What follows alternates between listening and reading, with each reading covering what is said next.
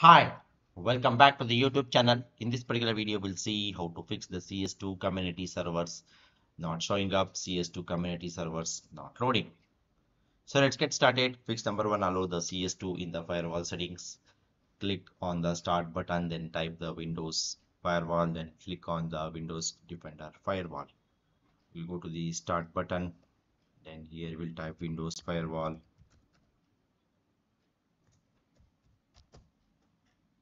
Windows Defender Firewall. Then click on the Windows Defender Firewall. Then click on the Allow an app through the Windows Firewall. Okay. From the left panel, Allow an app. So we have clicked that particular option set changes change settings then allow another app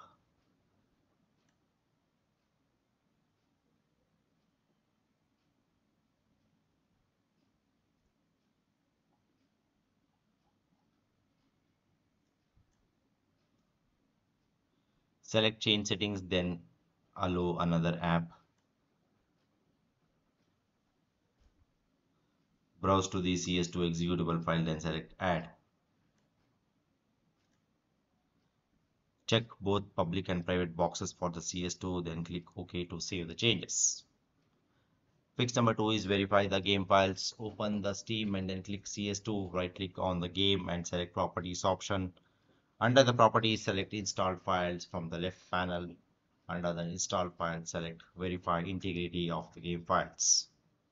Fix number three is run CS2 as administrator. Right click on the CS2 executable file, then select run as administrator. Ensure that both the Steam and the game are running as administrator to avoid any permission issues. Fix number four is wait for the server transition. Many community servers are still in the process of transitioning to the new source of to engine. This transition may cause the temporary limitations in the server availability. Valve is actively working to resolve this issue and ensure the seamless experience for players. Okay.